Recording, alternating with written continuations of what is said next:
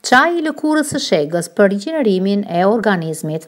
Shega është një nga frutat më të dashura dhe më të shëndetshme për njeriun. Ky frut është i rëndësishëm kundër inflamacionit të trurit dhe sëmundjeve të ndryshme, si ajo e Alzheimerit dhe Parkinsonit. Qërimi i shegës është shpesh një kokëçarje e madhe. Kur duam ta hamë shegë, kokrrat përfundojnë në pjatë ndërkohë që lëkura hidhet në plehra. Por pasi të ndiqni këtë video, lëkurën e shegës nuk do ta hidhni më kurrë.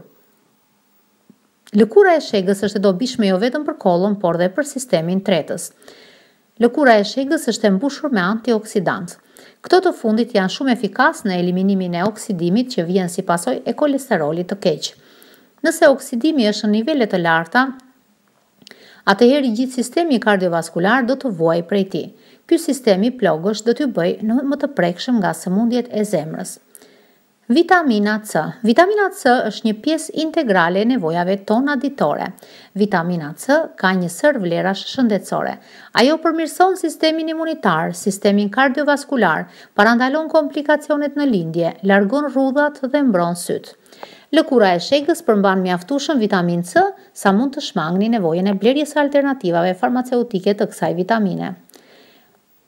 Efekt pastrues, Antioksidantët që i përmendëm më lart janë të mirë jo vetëm për zemrën, por dhe për pastrimin e të gjithë organizmit nga toksinat e akumuluara. Nëse keni nevojë për një pastrim të brendshëm, çaji i lëkurës së shegës është alternativë perfekte kundër toksinave. Sistemi tretës Pika më e fortë e këtij çaji është se mund të shkatërrojë qelizat patogjenike që shkaktojnë kaos në të gjithë sistemin tretës. Ky çaj është një kurë ideale ndaj shumë sëmundjeve që prekin këtë sistem, siç është diarea, salmonela, ulcera apo koliti. Receta e çajit të lëkurës së shegës. Përbërësit, Për përgatitjen e këtij çaji ju nevojiten dhjetë deri në dymbëdhjetë gramë me lëkurë të thatë shege dhe dyqind mililitra ujë. Vendosini copat e lëkurës së shegës në një gotë qelqi pasi t'i keni larë mirë. Në një çajnik zieni ujin dhe pasi të ketë zier hidheni në gotën e mbushur me lëkurën e shegës.